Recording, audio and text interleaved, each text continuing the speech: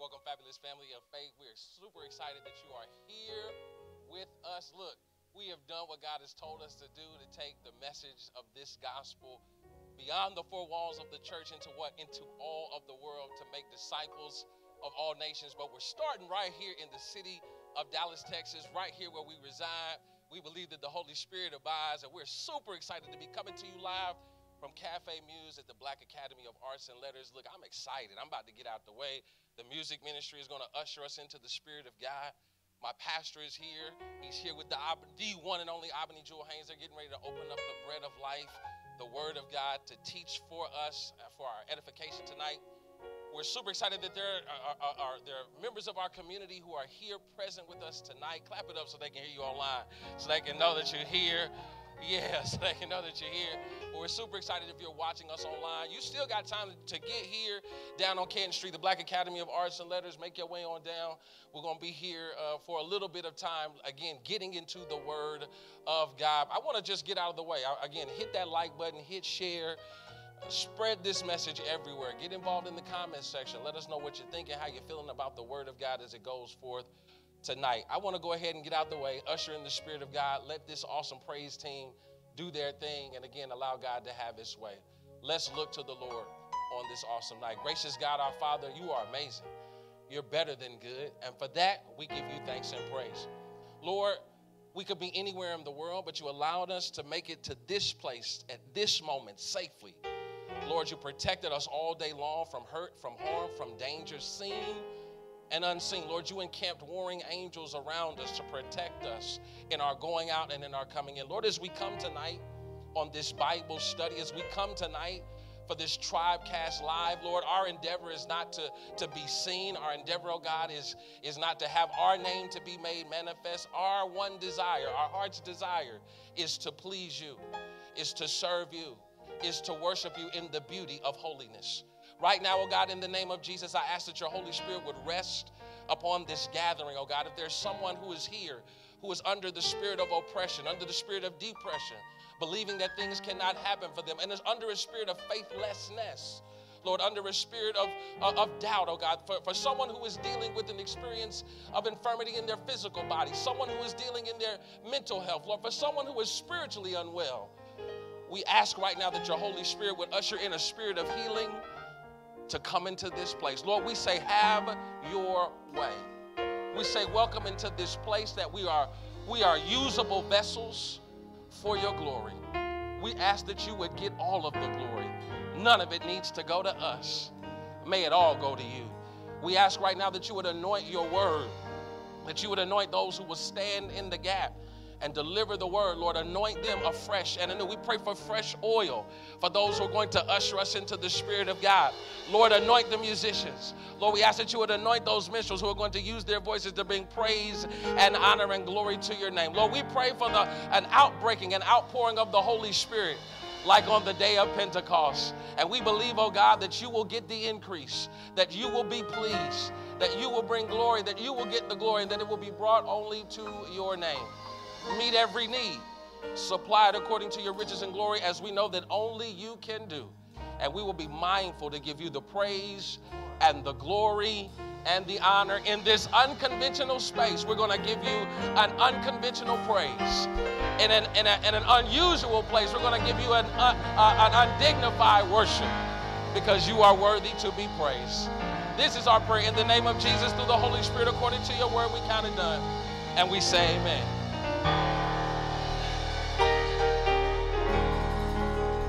Bless the Lord, oh my soul, and all that's within me. Bless his name. Come on, somebody bless the Lord wherever you are. What a mighty God we serve. Come on, what a mighty God we serve. Let everything that has breath praise ye the Lord. Are you excited about a good God, a faithful God, a mighty God? What a mighty God we serve. Angels still bow before him, and heaven and earth adore him. Somebody just look at somebody and say, He's a good God. Come on, find somebody that you didn't come with and say, God is still a good God. He's still saving. He's still healing. He's still healing sick bodies. Anybody believe it? He's good. He's good. He's good. He's good. He's good. He's good. He's good. He's faithful. I don't know what he's done for you, but he's mighty. He's good. He's awesome. He's holy. He's righteous. Great and mighty is our God. Great and mighty is our God. Great and mighty is our God. And we shout hallelujah. Hallelujah. We give you the glory. We magnify your name. We thank you for being good. Hallelujah. Anybody know that he's still good? We're a little quiet for a good God.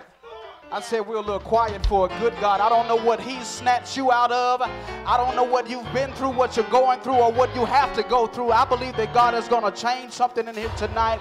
Somebody just say, God, thank you for being good. Come on, if you don't know anything else to say, God, thank you for being good. You saved us. You've healed us. You've restored us. You've given us joy. You've given us peace. You've given us love even when we don't deserve it. And we say thank you. He's a good God and we appreciate him. Come on, everybody, just worship with us. If you have two feet, just stand on your feet right here and worship with us. Lord, we thank you. We give you the glory. Hey, and you're going to sing with us because God is good. The song says, I will bless the Lord at all times, and his praises shall continually be in my mouth. No matter what I see or how I feel, as long as I'm breathing, oh yes, I'm breathing, I'm gonna bless the Lord. As long as I'm breathing, oh yes, I'm breathing, I'll bless the Lord. That's what we're gonna do this evening. And if you know the song, I dare you to sing it with us. Come on, say, I will bless. I will bless the Lord at all times. Come on, you gotta say, and his praises. And his praises shall continually be Say, no matter what I see No or how I feel, how I feel. as long as I'm breathing, yeah, yeah. Oh, yes, As long as I have breath, anybody say, oh, Oh, yes, yeah. Magnify. Magnify the Lord. Yeah, that's what we come to do. Say, let us exalt his name together. So let's lay down Let's our crown, down yeah, yeah. crowns and lift up his name. We come to do it, yeah, yeah. Let's do it together. Let's do it Just put your hands together right here. And we come to magnify the name of Jesus. There's none like him in all the earth. Come on, you gotta say, I will bless the Lord. bless the Lord at all times. See, and his praise. And his praises shall continually be in my See, no matter what I see matter what or how I see or I feel, as long as I'm breathing, yeah.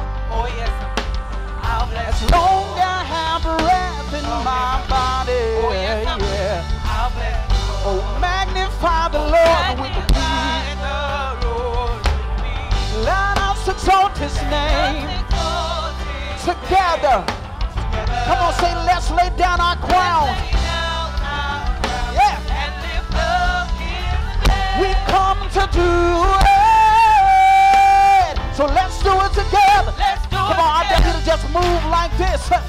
Hey, let's do it together. Let's do it together. Yeah, yeah. Say, everybody say, let's do it. Let's do it together. He's been so good. He's been so kind. Let's do it. Let's do it together. Hey, now we gonna testify right here. Everybody say, cause you've been better than good. You've been better than good to me. Has he been good to anybody? Say, cause you've been better than good. You've been better than good to me. You woke me up this morning. Say, you've been better than good. You've been better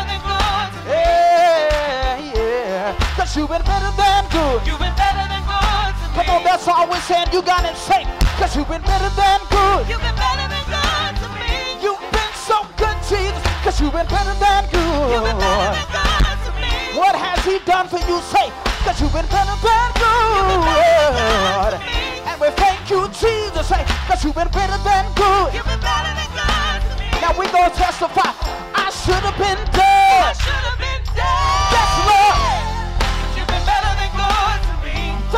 Jesus. Yeah.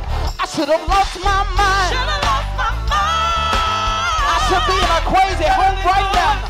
But Lord, we thank you for keeping us, Jesus.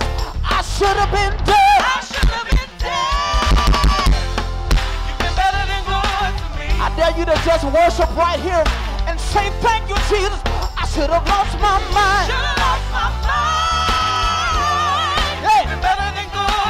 Some things should have taken us out. We're going to say that one more time. Say, I should have been dead. Thank you, You've been better than good to me. Lord, we thank you for your keeping power, Jesus. I should have lost my mind. have lost my mind.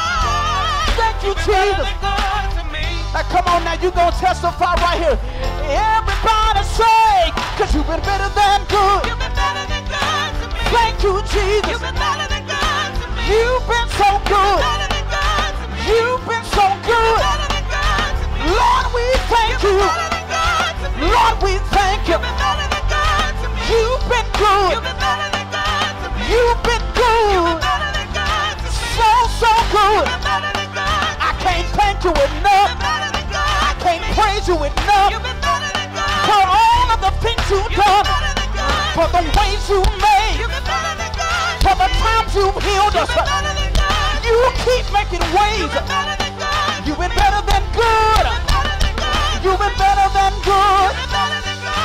What has God been to you? better than good to me. Did he make a way? Better than good to me. Did he bring you out? Better than good to me. Nobody like you.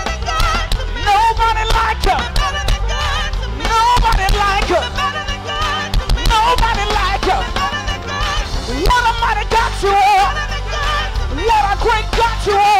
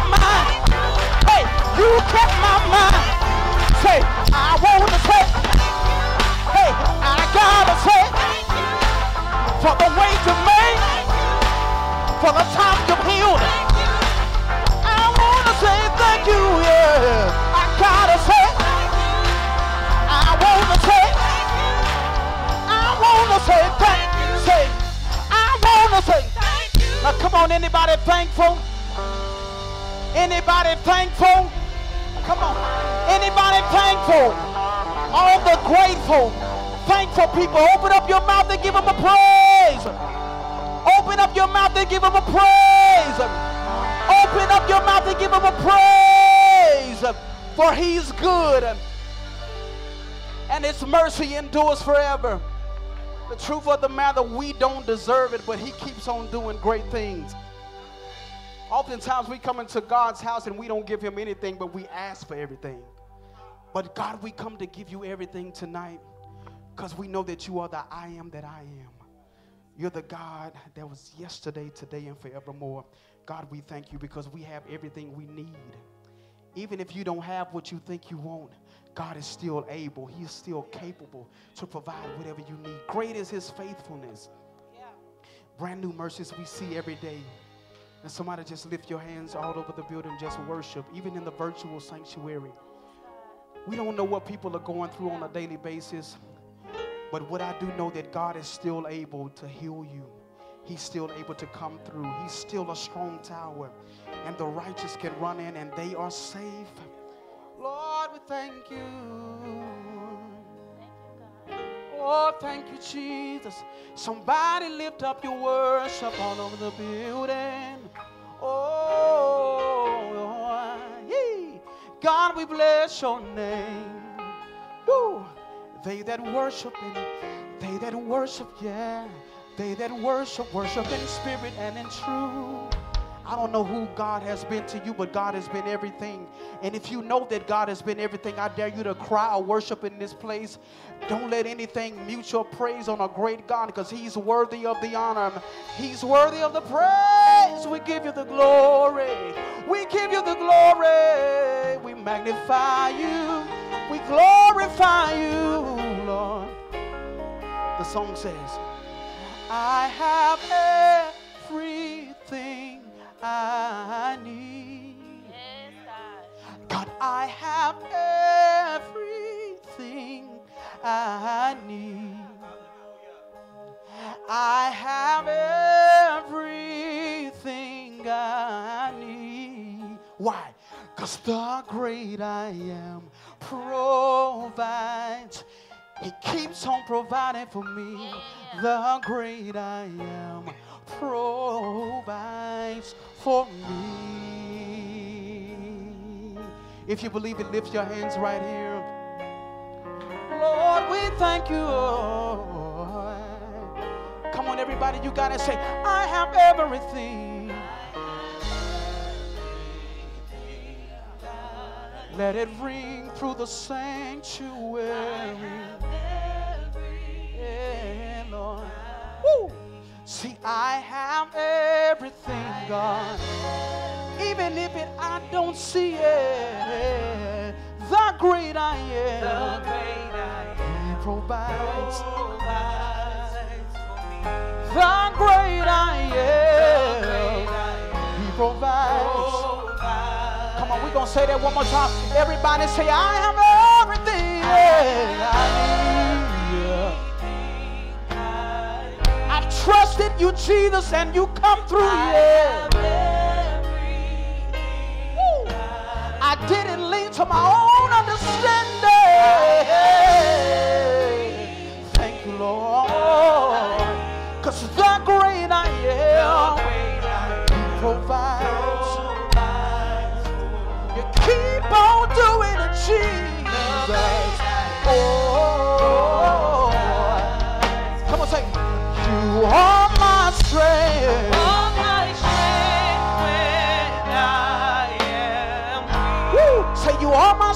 Strength when I am. And His strength is made perfect in weakness. Say, You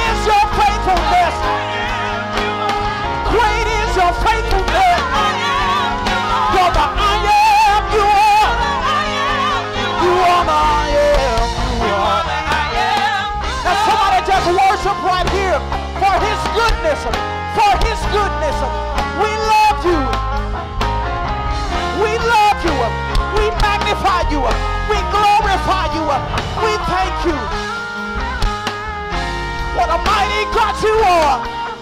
Lord, we thank you. Lord, we thank you. Lord, we thank you. Even if we don't see it, you are the I am. You are. You're the I am. You are. You're the I am. You are. Even on tomorrow. Even next week.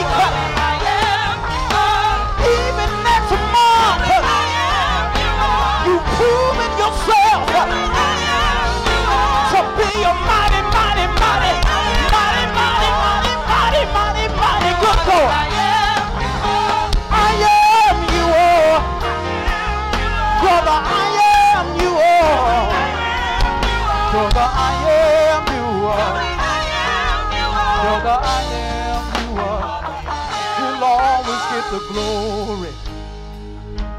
Oh, he'll always get the glory out of my life, out of my time. Say he'll always get the glory. Did you come to give him the glory? We gonna raise it up and everybody says he'll always.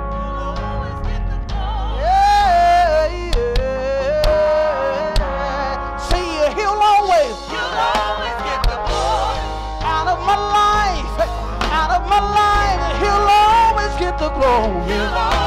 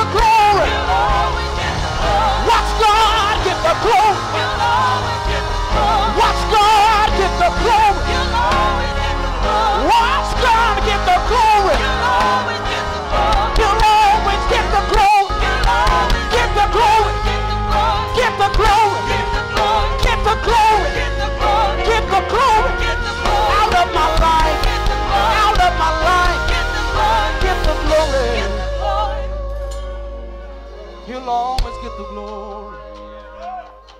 Some way he'll always get the glory. Some way, somehow, when we're going through, yes, he will. He'll always get the glory. I want everybody in here to say, say, he'll always, he'll always get the glory. Everybody, open up your mouth and say, He'll always get the glory. Come on, I dare you to sing to your situation. Sing to everything that's been trying to come against your family. Say, He'll always get the Because when you give Him glory, things change. Change breaks here. He'll always. You won't leave the same way that you came. So He'll always. So He'll always get the glory. Woo! He'll always get the glory. He'll always get the glory. He'll always get the glory. He'll always get the glory. He'll always get the glory. He'll always get the glory. Yeah. The song says, Waymaker, miracle worker, promise keeper, light in the darkness. My God, that is who you are. Oh, waymaker, miracle worker, promise keeper, light in the darkness. My God, that is who you are. Come on, you gotta say, say waymaker, miracle, promise keeper.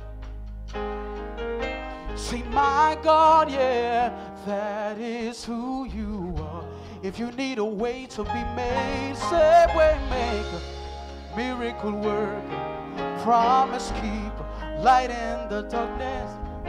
Say, my God, that is who you.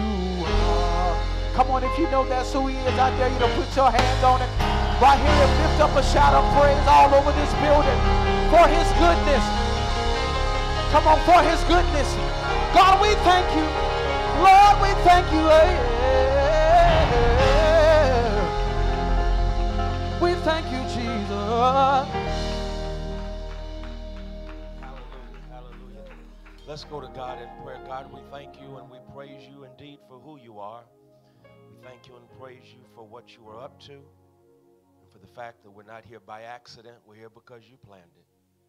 And so we thank you for those online. We thank you for those in the house.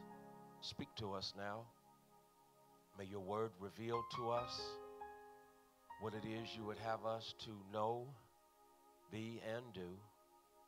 Heal us where we are broken. Strengthen us where we are weak. Speak to us. I'm available to be used as your instrument. Now have your way. In Jesus' name, amen. Would you thank God with me for our amazing young adult praise team? They have done that, set this place on fire, and so we praise God for them. Let me say a quick word of thanks to uh, all of our uh, wonderful young adults uh, who comprise the, uh, who are part of the family of faith at Friendship West. We thank God for you. Uh, we, with intentionality, uh, are investing as much energy as possible in uh, the cultivation, development of our ministry to and by and for young adults. And so uh, I praise God for you. I praise God for uh, Albany Jewel. She is giving leadership to our young adult ministry. And so I thank God for her. I thank God for her vision, her commitment, and her determination uh, that we never overlook, but instead do all we can to pour into, to invest uh, in our young adults. And so we thank God for uh, you, Albany. We thank God for our young adults. We thank God for all of you coming out. I know this is a little bit different. Uh, we are down here at the Black Academy of Arts and Letters. Shout out to Curtis King uh, here in the Muse Theater. And so we are excited to be here and we thank God for what God is up to. I want to share with you uh, for a few moments uh, from a passage of Scripture. We've been looking at uh, Luke chapter 1 uh, for uh, quite some time, and especially verse 48 this month. I want to give the context of that uh, in tonight's uh, study. In the sixth month, the angel Gabriel was sent by God to a town in Galilee called Nazareth. This is Luke chapter 1, beginning at verse 26. To a virgin engaged to a man whose name was Joseph of the house of David. The virgin's name was Mary. And he came to her and said, Greetings, favored one, the Lord is with you. But she was much perplexed by his words and pondered, What kind of greeting might this be? The angel said to her, Don't be afraid, Mary, for you have found favor with God. Now you will conceive in your womb and bear a son, and you will name him Jesus. He will be great, and he will be called the Son of the Most High. And the Lord God will give to him the throne of his ancestor David. He will reign over the house of Jacob forever, and of his kingdom there will be no end. Mary said to the angel, How can this be? since I am a virgin. Another translation is, How can this be since I don't know a man? The angel said to her, The Holy Spirit will come upon you, and the power of the Most High will overshadow you. Therefore, the child to be born will be holy. He will be called Son of God. And now, your relative Elizabeth, in her old age, has also conceived a son. And this is the sixth month for her who was said to be barren for nothing will be impossible with God. Then Mary said, Here I am, servant of the Lord. Let it be with me according to your word. Then the angel departed from her. In those days, Mary set out and went with haste to a Judean town in the hill country where she entered the house of Zechariah and greeted Elizabeth. When Elizabeth heard Mary's greeting, the child leaped in her womb, and Elizabeth was filled with the Holy Spirit and exclaimed with a loud cry, Blessed are you among women, and blessed is the fruit of your womb. And why has this happened to me that the mother of my Lord comes to me? For as soon as I heard the sound of your greeting, the child in my womb leaped for joy. Blessed is she who believed that there would be a fulfillment of what was spoken to her by the Lord. Mary said, My soul magnifies the Lord, and my spirit rejoices in God, my Savior, for God has looked with favor on the lowliness of his servant. Surely from now on, all generations will call me blessed. I'm going to talk in these few moments about looking good in a broken mirror. Looking good in a broken mirror. Looking good in a broken mirror. Please understand how you view you will either cause you to get in your own way or propel you onward on the path toward purpose as you are empowered to live on purpose. And so the question I have to ask if what I have just shared is true, and that is, how do you see you? When you look at your internal mirror, because that's what I'm dealing with tonight this whole concept of self image. And self image has everything to do with how we see ourselves from the inside out. Self image has everything to do with what we see when we look in the mirror beyond what we see.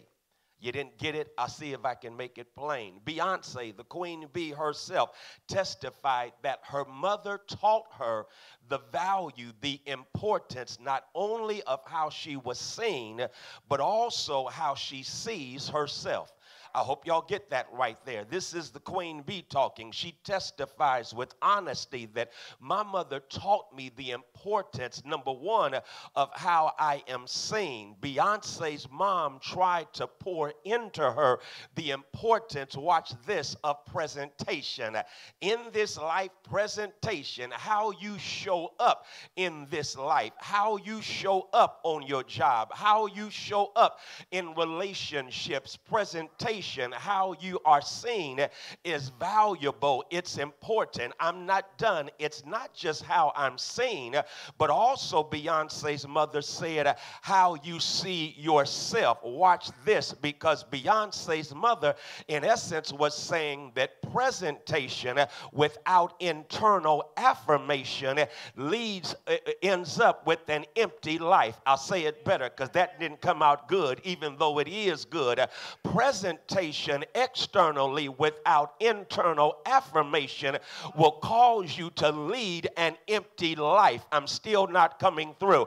I'll make it real plain. Since this is a Bible study night, don't forget that passage in what was it? Numbers chapter 13. The Bible lets us know the people of God had been emancipated by God from Egyptian enslavement. They are now, watch this, on the warm threshold of walking into promise and possibility.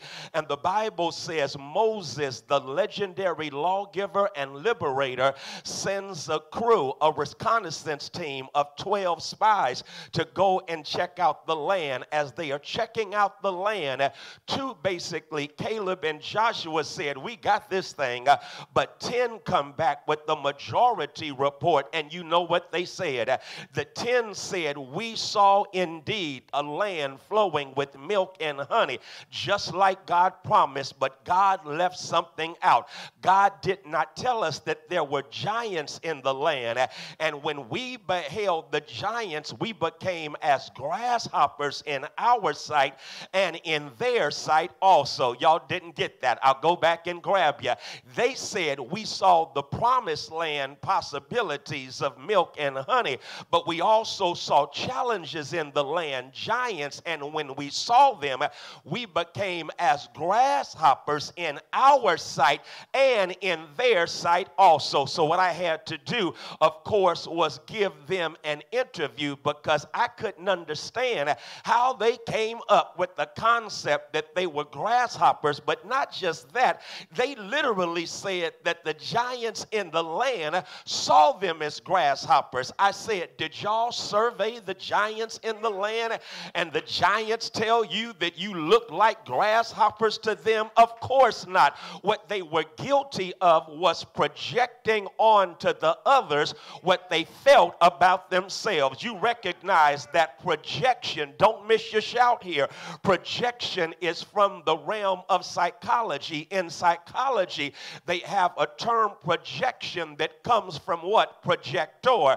Now, y'all are young adults. Y'all don't know nothing about projectors, but when I was coming up, we did not have videos we watched, but we had watched this a projector in school, and the projector would project onto the screen what was going on inside of it. And so, whatever was going on inside of the projector was projected onto something that was external. Y'all still not getting this thing.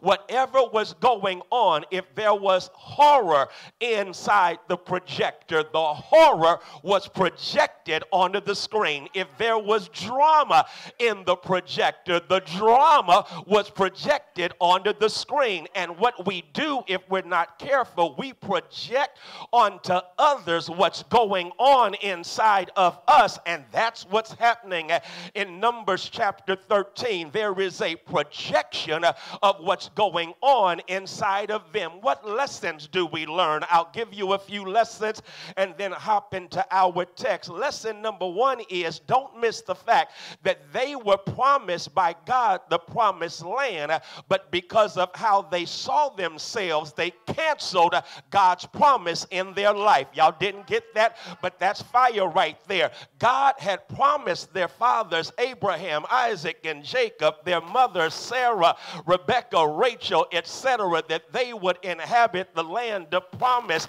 And now God, after setting them free, sends them on their way through the wilderness. They're, there, they're right there at the promised land, but the Bible says they don't get to go into the promised land. Why? Because they canceled God's promise because of how they saw themselves. Do you not know you can cancel God's promise on your life because of the negative grasshopper way that you see yourself? But not only that, and that was good enough right there, but also you will undermine your own relationships with others by how you see yourself. I just read Jemele Hill's book, amazing book, Uphill. Listen to what she says about her grandmother grandmother. Jemele Hill says, My grandmother kept marrying uh, men who chose to crush her spirit. And then she raises the question I don't know what she was missing. I don't know what void was in her life that caused her to conclude uh, that when she saw herself, she was not enough. Stop right there. She kept hooking up with people who chose to crush her spirit. Jemele Hill interprets because of how she saw herself and how she saw herself was what? Not enough. I need to ask a question right now. How do you see yourself? I need to follow up with the question Are you enough? Do you see yourself as enough? If you don't see yourself as enough, you will undermine relationships. You will sabotage relationships and attract to your life those persons who will reinforce what you already feel about yourself, and that is you are not enough. Wow, that's powerful. And so I thought I would connect that with what's happening in this passage. The Bible lets us know that Mary is approached by an angel, Gabriel. Gabriel says to Mary, Do you see the beautiful greeting? Mary, you are blessed and highly favored. Mary, you are an amazing woman who has been chosen by God. And Mary, the Bible says, is perplexed. That's a real nice translation. It's not the best translation. The better translation says that she was agitated. She was what? Shook by the greeting that came from this angel. Perhaps you want to know why. It had everything to do that, first of all, Mary is a second class citizen in Nazareth because don't forget, the angel comes to Nazareth. Y'all already know that Nazareth didn't have a good reputation when it was found that the Messiah was coming from Nazareth, somebody said, Can any good thing come out of Nazareth? If NWA is rapping back in the day of Jesus and Mary, their album is called Straight Out of Nazareth. Nazareth is the wrong side of town, Nazareth is the wrong side of the tracks. Mary is in Nazareth. I'm not done.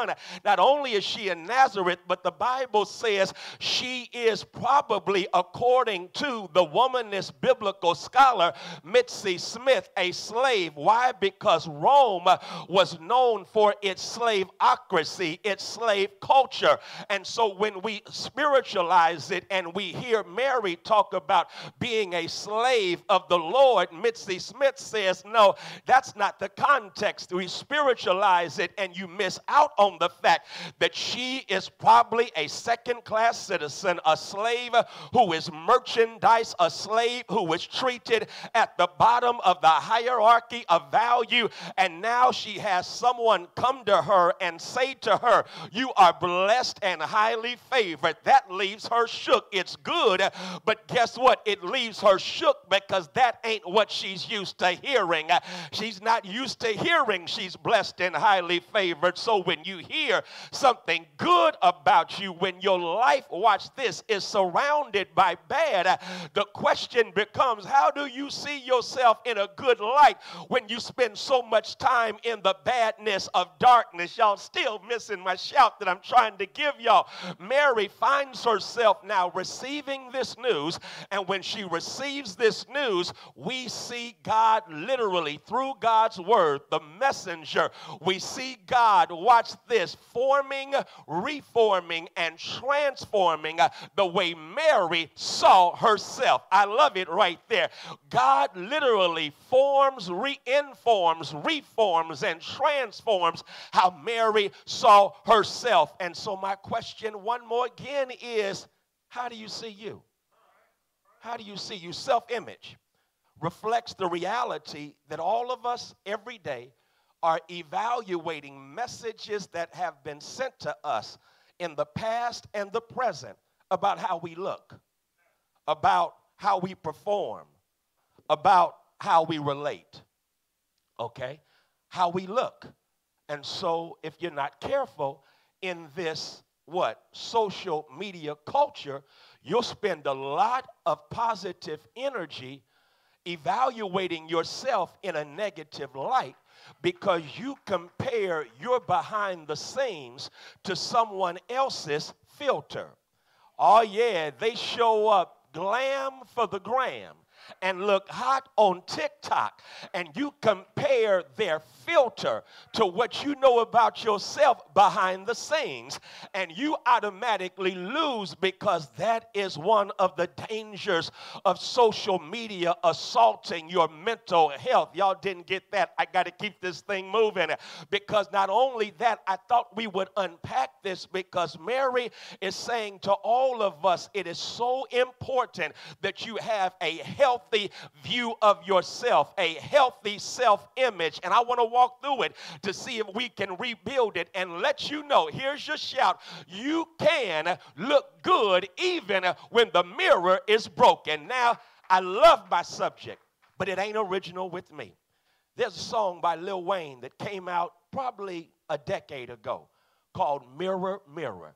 And Lil Wayne in Mirror Mirror has this line that made me shout. Don't judge me. Lil Wayne said, I look good even in a broken mirror. And that's what I want to deal with because I understand that if self image has to do with our internal mirror, our internal mirror often is a reflection of a mirror that has been projected onto us by those around us. We, as people of ebony hue, already recognize that because we live in a nation that for so long made black a stigma and African something that was negative.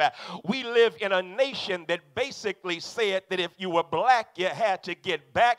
If you were brown, don't stick around. Only if you were white were you all right. That's the nation we find ourselves living in. But it's not just that. In your own context, you find yourself being what? Fed information about how you look, how you perform, how you relate by your parents, by your friends, by teachers, by loved ones, and yes, even by haters.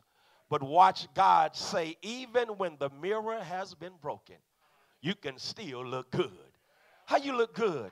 In a broken mirror. I'm almost done. You look good in a broken mirror. This text says, when you discover the truth, and this is a powerful truth right here, please don't miss it and don't shout because I got two more to give you. But the first thing I'm trying to give you is that Mary lets us know, or God through the angel lets us know, that you can rebuild your self image by taking on the divine image. Okay? You can rebuild the image within you by accepting the divine image of you. okay, okay. Uh, the Bible says, I think it's Genesis chapter 1, verse 26, that when God made human beings, God made them in God's image and in God's likeness. You were made in the image of God. The imago Dei, the image of God, is stamped on you. No matter what others have said about you, regardless of how they see you, there is an image of God stamped on you. Our African ancestors, especially the Yoruba and the Ashanti, they got this really well because the, Yoruba, the Yoruba and the Ashanti declared that you ought to revere children when they were born. So when babies were born, they protected the babies, they protected the children. Why? Because in the mindset of the Yoruba and the Ashanti, children having just come from heaven had been packaged, watch this, with personhood and purpose by Almighty God. And so, what the, the adults wanted to do was to ensure that when the children arrived, that they were what nurtured and cultivated according to the personhood and purpose that God had given them in heaven before releasing them on earth. Please hear me well. A divine image, God's image has been stamped on you. You, you are made in God's image and in God's likeness, and you understand the power of image.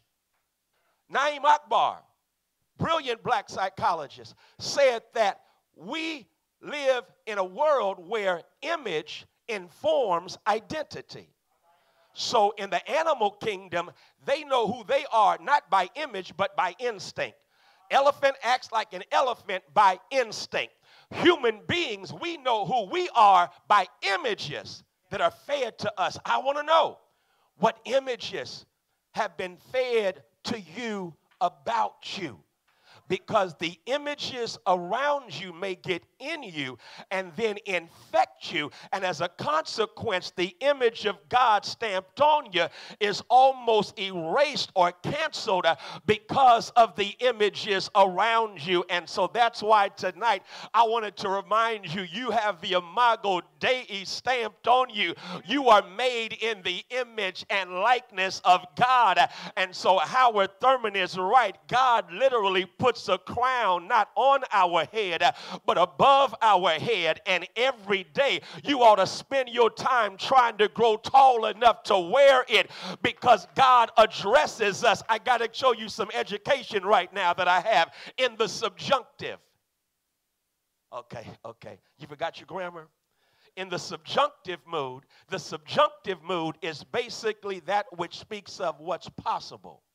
And so God places on, no, above your head, this crown of God's image and wants you to grow tall enough to wear it. Huh. And so look at the images in the passage. Here comes the angel Gabriel and says, Mary, blessed and highly favored. Here comes Mary going to Elizabeth's house, and Elizabeth says, Oh my God, it's Mary, the mother of my Lord and calls her what? Blessed. Images are being poured into Mary that, in a real sense, are reconstructing her own self image. And that's the word I'm trying to give all of you. God's image is stamped on you. You are made in the image and likeness of Almighty God. But here's another thing, and it's really good, and that is the right people around you will give you the right view of you. Here's what happens in the passage Mary lets us know if you're going to have your self image rebuilt, make sure you have some angels that pour into you and some Elizabeths that ain't jealous of you. Wow. Some angels that pour into you because angels will see in you what you don't see in yourself. Angels will see what's going on, what God is doing in your life that you may not pick up on yourself. Angels will do that. And so check out the angels that God marshals into your life and make up your mind to listen to the angels. Wait, it's not just the angels, it's your Elizabeths. I love Elizabeth because Elizabeth, the book says, she's older than Mary. Mary is young. Elizabeth has been hoping for this all of her life, and finally she gets pregnant, and then here comes her young cousin, and her young cousin is pregnant with the Messiah. The Messiah, watch this, and as a consequence, Elizabeth's child is going to be the forerunner of the Messiah. Yet Elizabeth ain't jelly of what Mary has going on inside of her, and that's what I want to ask you. I think it's Linda Clemens Deb who says, quit giving negative people the opportunity to live rent free in your mind. Because if you're not careful, it's the jealous folk around you. Everybody around you ain't loving on you. Everybody around you is not celebrating you when everything's are going well. And so it's only as you evaluate the persons in your circle because you've got to make sure that you don't have people in your circle, please don't miss this, who are jealous of what God is doing. Here's what I'm trying to say. When you have people in your circle who have Elizabeth personalities, Elizabeth celebrates what's going on with you. Elizabeth shouts when you walk in the door. Elizabeth sees what's up in you and does not believe that what's going on in you takes away from what's going on in her because Elizabeth ain't jealous of what God is doing in your life. Okay, let me quit with this. I guess my last piece is after the right people around you give you the right view of you, after your own self image is rebuilt by the divine image of you, the final piece this text says is that God lets you know when you know who you are, you can now live in the power of why you are. Here's something, Pastor White, I never hear, and that is the etymology of Mary's name. You know what her name means in the original language? Rebellious one. It means Mary, rebellious one. It ain't preached.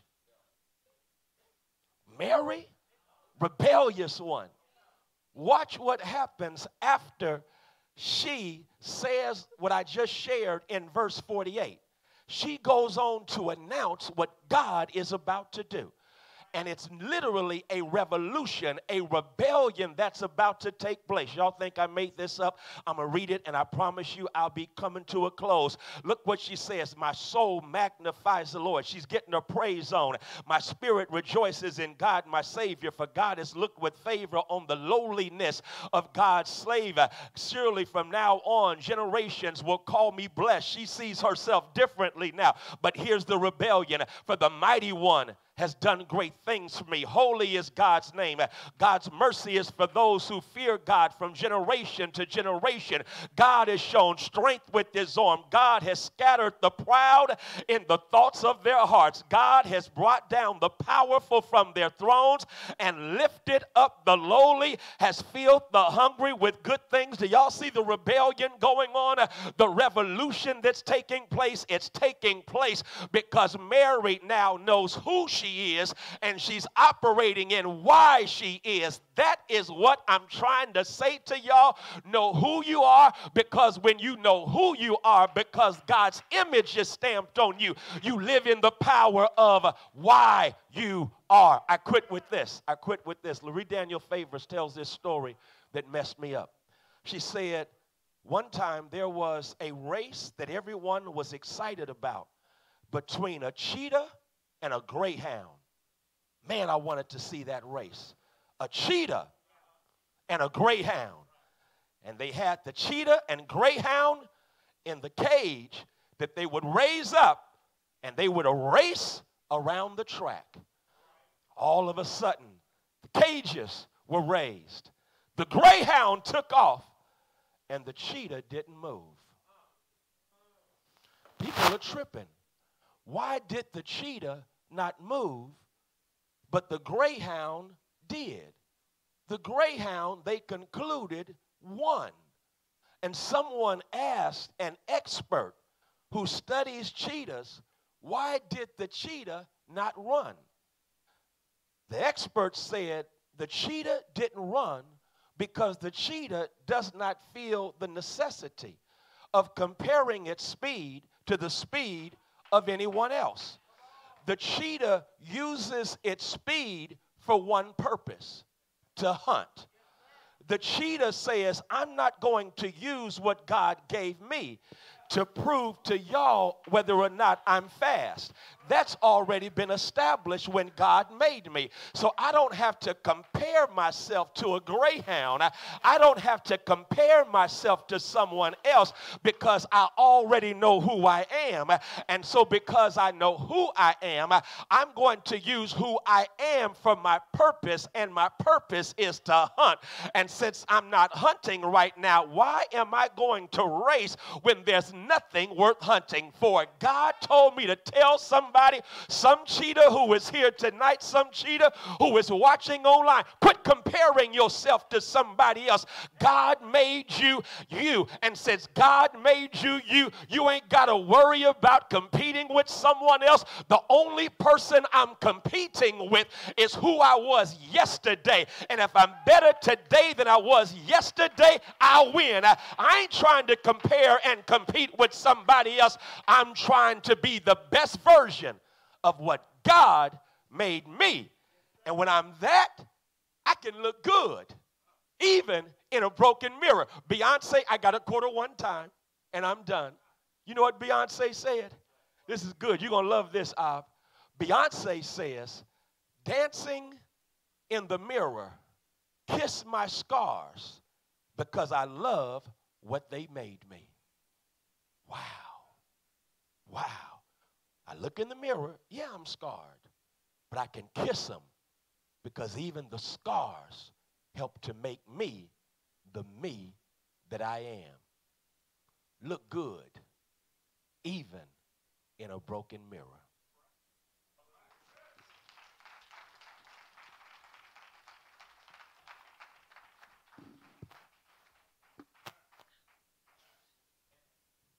Hello, hello, hello. Thank you so much, Dad. That was amazing. so, really quick, just had a few quick questions. I don't know if anybody in the audience has any questions, but um, I wanted to ask you, based upon uh, what you gave us this evening, what are one or two practical tools that you that we can take to improve our own self-image? Yeah, I appreciate that. I think, uh, you know, practically speaking, how I see myself has always improved as I work to improve myself by reading. Uh, and then the second piece, reading and and whatever I'm doing to, to, to make sure I'm growing. I think that's the important thing. The second piece is, and this is just so important, that you surround yourself with the right people uh, who, who are jealous of you, who believe in you. Uh, I'll just be real open right now. One of my reflections recently has been on the fact that uh, when I first came to the church, and I'm 22 years old, pastoring, and I got a whole lot of self doubt that I can do this. And there was uh, one particular person who reinforced my self doubt. Uh, she did not want me to be pastor of the church and was real clear about that. And one time after church, she said, You need to let me know what to call you. Uh, what do I call you? And so I just heard someone say, One of the greatest honors you can have is to have someone call you pastor. And so I told her that. I said, I'd be honored to, for you to call me pastor. Huh, I ain't gonna never call you pastor. You younger than my kid. You just a boy to me. And I spent a few years not seeing myself as a pastor because of the poisonous stuff she said to me. Here's what began, began the transformation. And that is, I also had in my life Emmanuel Scott. And Emmanuel Scott was always telling me how gifted, man, you're so gifted. E.K. Bailey would say, with your gifts, this, this, this, this. So I got Manuel Scott, E.K. Bailey. And so one time I shared with Bailey what this person in the church had said to me. And E.K. said this to me, said, so Dr. Scott keeps telling you how gifted you are. You got members of that church who come hear you every Sunday. I'm telling you how gifted you are. So you got a choice to make right now. Are you going to listen to someone you know hates you?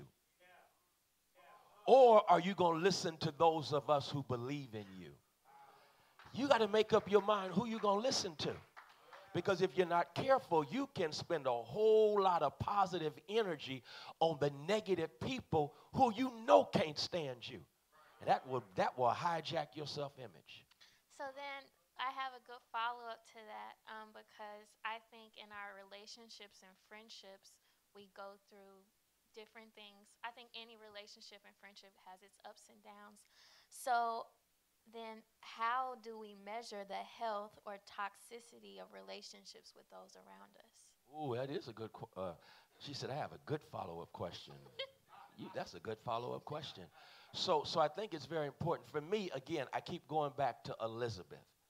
Elizabeth, and because because, and and let me use the Malcolm X, Elijah Muhammad illustration of the water that you know was clear versus the water that was cloudy.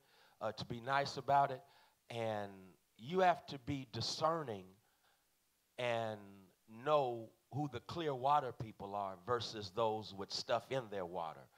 Uh, because I've discovered this that I evaluate certain relationships by, okay, can you celebrate me when I'm doing well? Uh, just as I celebrate you when you're doing well? Uh, is this a relationship where you're always taking from me, but you never pour into me? Uh, is this a relationship where I hear things you're saying about me behind my back, but you're always smiling in my face, almost as if you're overcompensating for what you're saying behind my back? And so when I, again, just being transparent in my own situations, I have some people I've had to put, and this is Linda Clemens gave me this, uh, and, and I just think it's brilliant. You almost have to treat people like you do, uh, like airlines do passengers. Uh, some people in your life are in first class. Well, you pay a little extra to be in first class.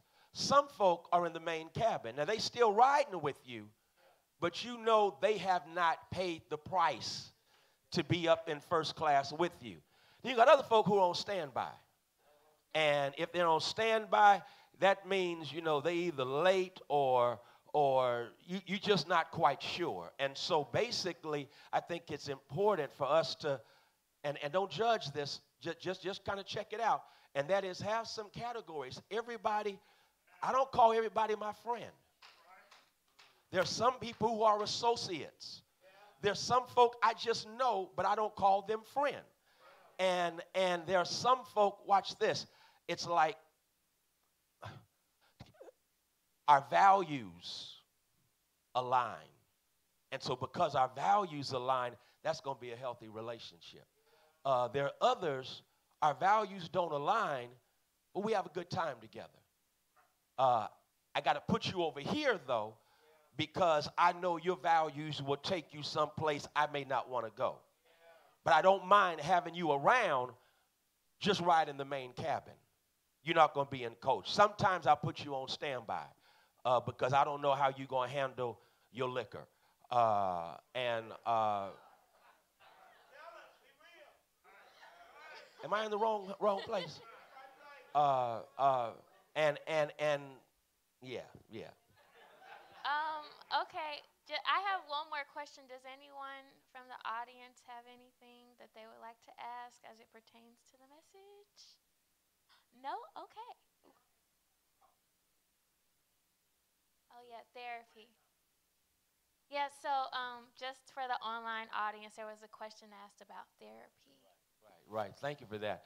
Uh, great alpha man. I, I don't know why I was so chilly in here tonight, but uh, but on, on, on that was for Saul. But on on a serious tip, uh, I I I can't overemphasize how God and God's goodness gives gifts for our healing, liberation, deliverance, and wholeness. One gift that God gives is the gift of those who are therapists, psychologists, uh, psychiatrists, uh, who help us and equip us with the tools necessary to rebuild broken self images, to be healed from, delivered from. And so there is no what? Dichotomy between prayer and therapy. Okay? You can pray, pray, pray, pray, pray. And then God says, okay, I'm going to give the answer to your therapist. And it's really okay. It's really okay to sit down and talk with someone who guides you in the conversation towards healing and wholeness. Well, okay, really quick, because I know I don't want to overdo time, but I know I have friends personally, and there's a generation that comes before us who doesn't believe in therapy, and and a lot of times they will shun their children for even going to therapy. So how do we even work through that? Right. So so here's the thing. With all due respect, and, and you always respect the elders. I, I, you got to give them respect. Elders came from a space where that was looked down upon, mainly because we did not have those kind of opportunities. I mean, so we got to be real about that, honest about that. Uh, my mother did not have that kind of access to therapy that my generation has or your generation has. So I'm not going to judge them when they look down on me. I don't look down on you back because I'm going to get therapy so I can get better. And if I'm getting better, then a part of my betterness allows me to deal with you in a way that is healthy, even if you're dealing with me in a way that is unhealthy. But your lack of health is not going to compromise my health. Okay? Does that make sense? That makes perfect sense. I, I like therapy. um, one more just a sec. We have a mic for you.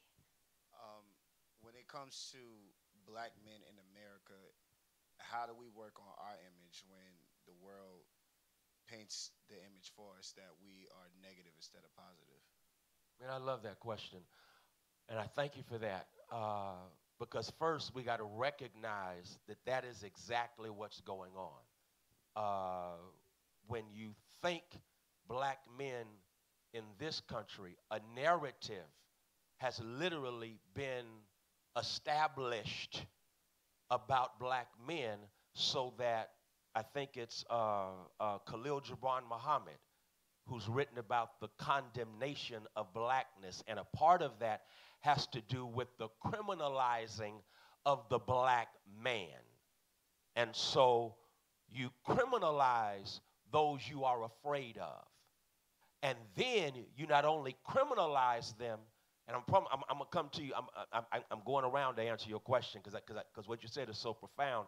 Not only do you criminalize them, but you, but you then weaponize their bodies. So whenever there is a police shooting of an unarmed black man, what is what, what's the response? What's the narrative going to be? I feared for my life. I feared for my life.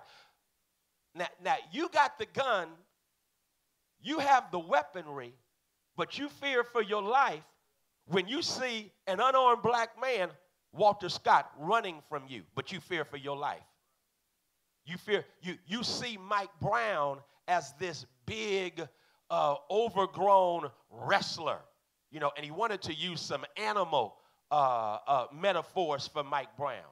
So what you're saying is so profound. In light of that, what do we do? A, stop looking to them for A, validation, and B, stop looking to them for how we should see ourselves. And I'm going to say this and don't judge me. Pray for me, okay? And that is we've got to quit as black people determining that our proximity to whiteness is the source of success and greatness.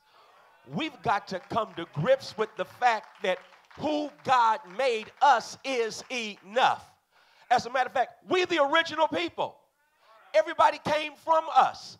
And so, so, so, so, oh, I, I, I'm, I'm to do this right quick, and I promise you I'm to wrap it. And that is what's happening in Texas and Florida, book banning, whitewashing of history.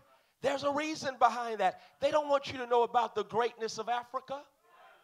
They don't want you to know that they want us ignorant about Africa. I've made up my mind. I'm, I'm not going to present hardly anything going forward without some reference to the greatness of our heritage on the mother continent.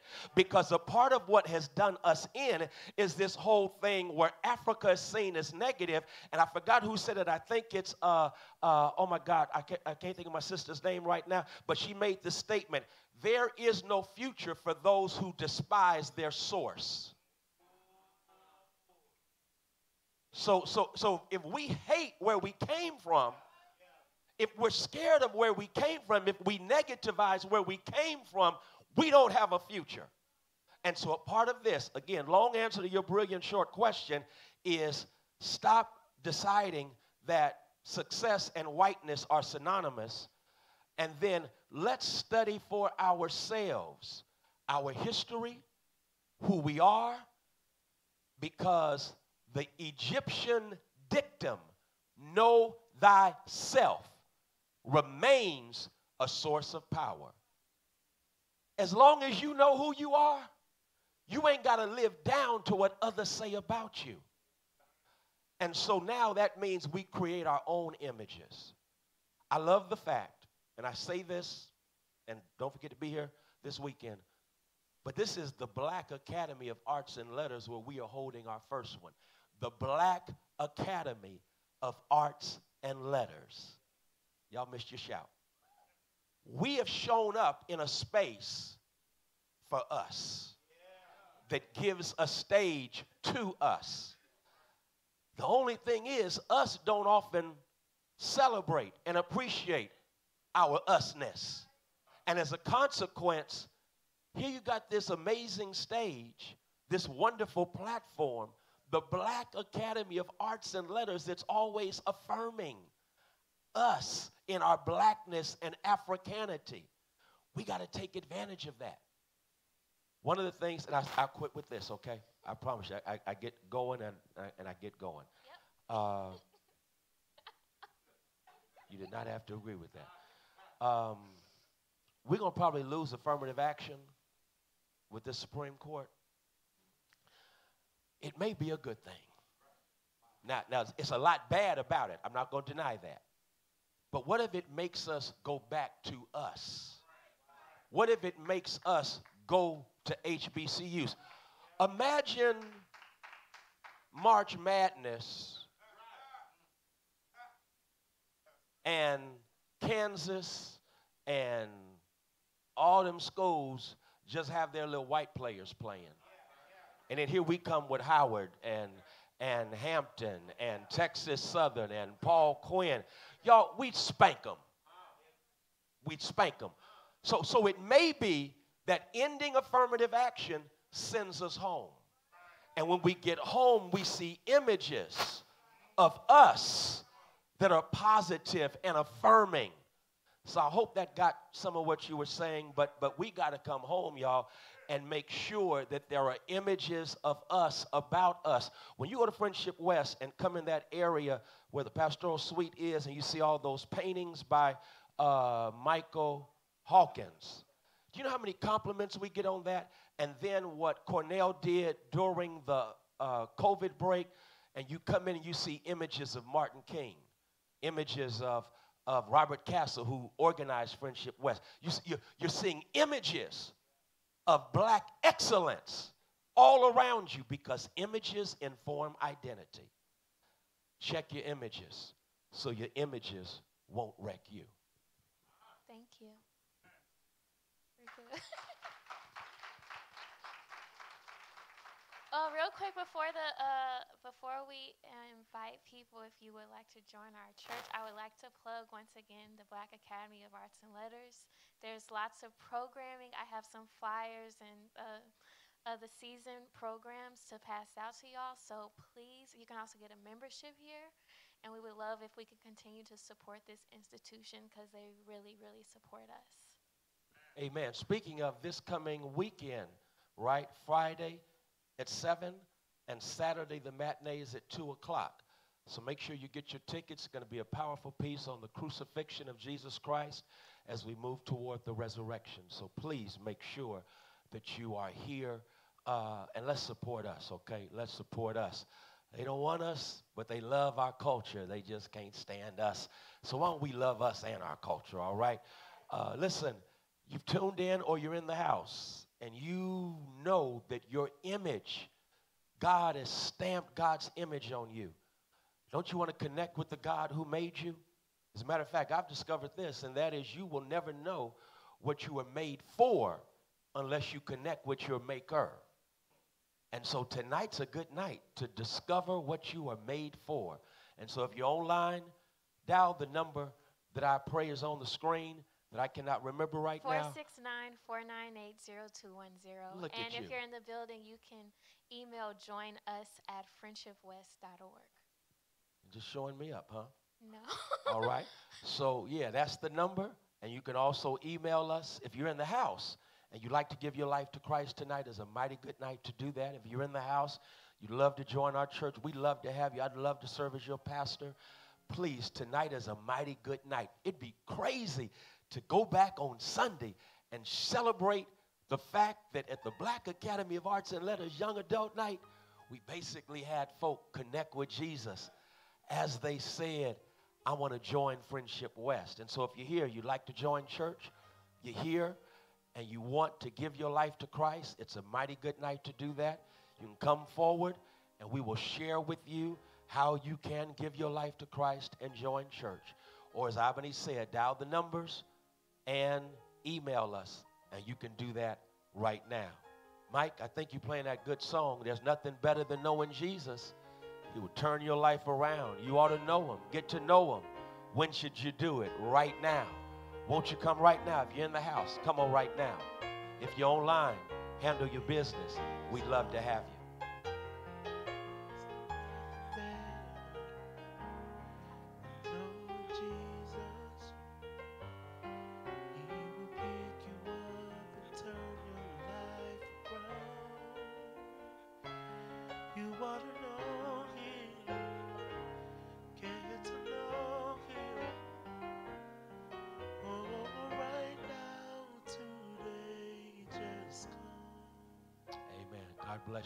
Bless you.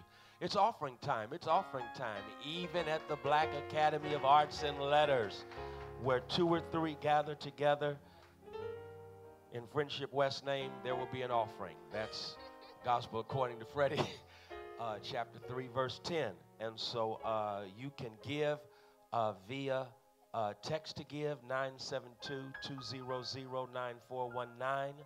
You text FWBC to that number and the amount, and we will receive gladly your gift. Also, you can give uh, online through the website, friendshipwest.org, or the FWBC app, or you can give through the Givelify app. Search out Friendship West and give through that safe vehicle, or there's a QR code. You can scan that and give through that vehicle, or you can even mail your offering in.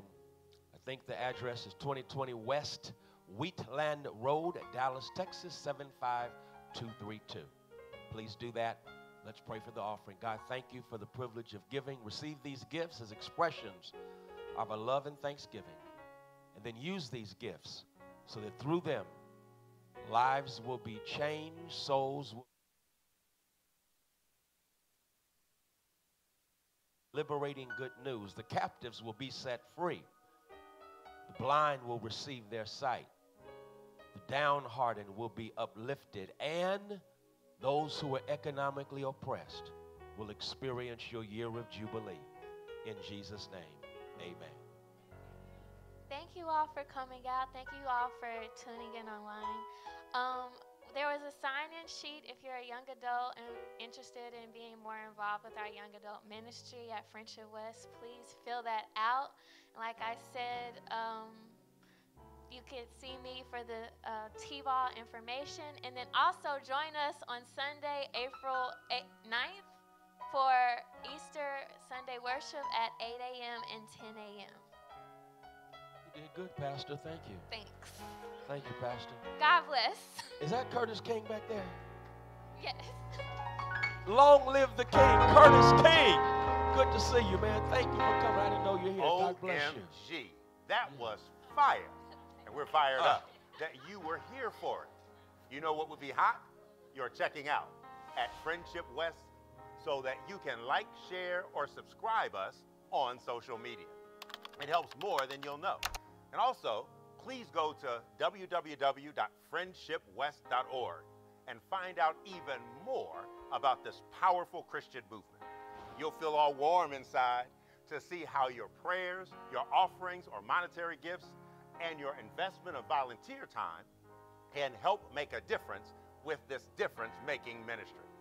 For all who were here as visitors, you can share you were here by taking time to text FWVIZ to the number 28950. If you're fired up about joining our family of faith, don't fight the spirit. Instead, call now 469 498 0210 or email join us at friendshipwest.org with your first name, your last name, and your cell number. Either way, it will be lit to hear from you.